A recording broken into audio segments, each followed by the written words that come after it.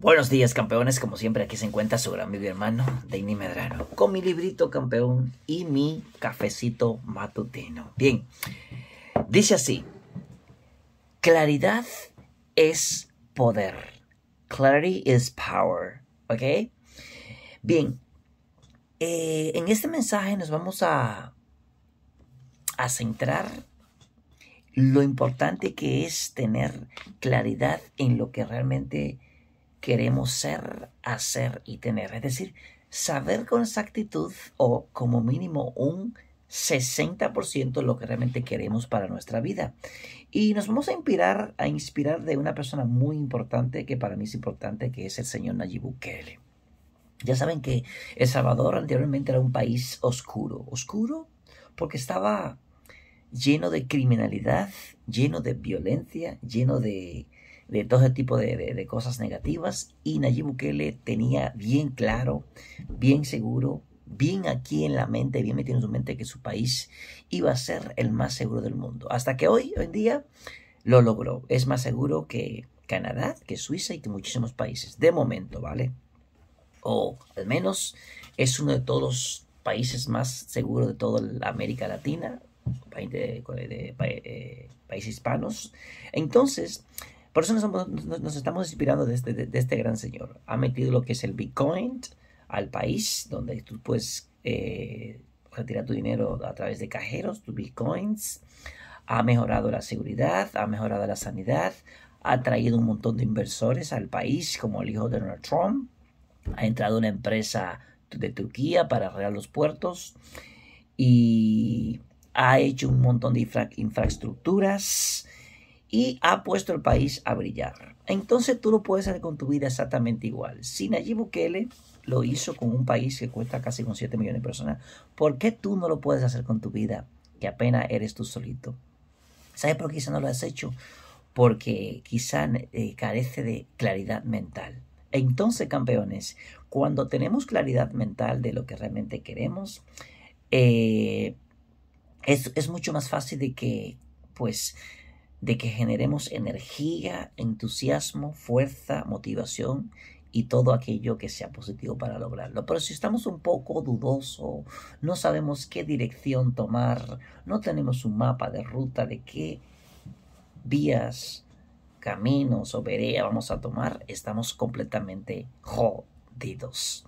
Así de sencillo y práctico con peones. Así que el paso número uno es para generar energía, fuerza y motivación y tener un carácter firme, como el señor Nayib Bukele, como Albert Einstein, como Madame Curie y como esos grandes personajes ¿no? de la historia. Tenemos que tener claridad. O al, mínimo, al, menos tener un 60% de claridad, porque a veces como que ni, ni, nosotros mismos estamos, ni nosotros mismos sabemos dónde estamos. Así de fácil y así de sencillo.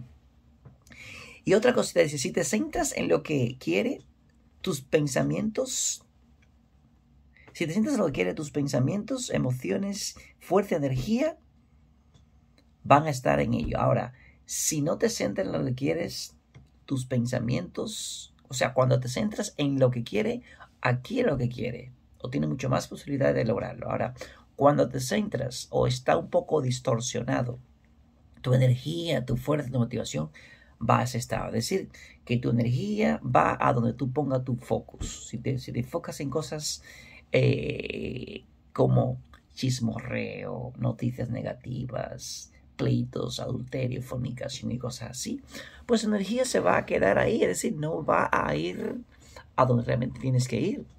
Y así es mi campeones. Y hay algo que digo que yo siempre suelo decir, que querer algo es igual a hacer algo. Si yo quiero una cosa y no hago nada de inmediato para, para lograrlo, por ejemplo, si mi objetivo es aprender inglés, if my main objective is to learn English and I don't do anything just to get it, o sea, si mi objetivo es aprender inglés, eh, digamos, en, en, un año, ¿no? Dominarlo un año, tener la capacidad de hablar con personas nativas, eh, un diálogo, lo que sea, cosas así para trabajar. Si mi objetivo es, un, es lograrlo en un año y yo no doy el primer paso aquí ahora, pues, ¿cómo tú crees que lo voy a lograr? No, querer algo es hacer algo al respecto. Ah, vale, que no puedo hacer mucho, pues por lo menos, ¿sabes qué? Coge tu agenda personal y pon por escrito los primeros pasos que vas a dar. Por ejemplo, para el 3 de enero voy a empezar a estudiar inglés. Voy a empezar con los pronombres personales, el verbo to be, los verbos básicos, los adjetivos, los sustantivos, los, adverbios de tiempo, de, de longitud, etc. Y voy a empezar así, así, así, así, así, etc. Aquí, como te digo, lo más importante es saber qué día vas a empezar algo, con qué vas a empezar, por dónde vas a empezar y quiénes serían las personas que que te van a secundar, es decir, ayudar. Y teniendo en cuenta que si no pides ayuda es mucho mejor. Porque si depende todo el tiempo de que alguien más te ayude, estás jodido. Otra cosita más, tienes que empezar ya a revivir tus sueños.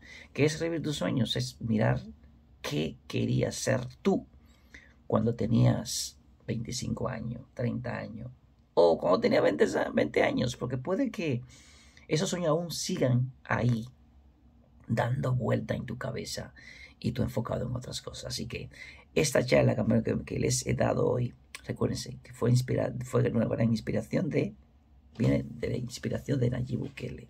Así que gracias por su tiempo. Eh, prontito, prontito iremos, muchas personas iremos para El Salvador a trabajar, para allá, porque el país se está poniendo bastante bueno. Además, es un país que está dolarizado, así que está bueno eso. Chao.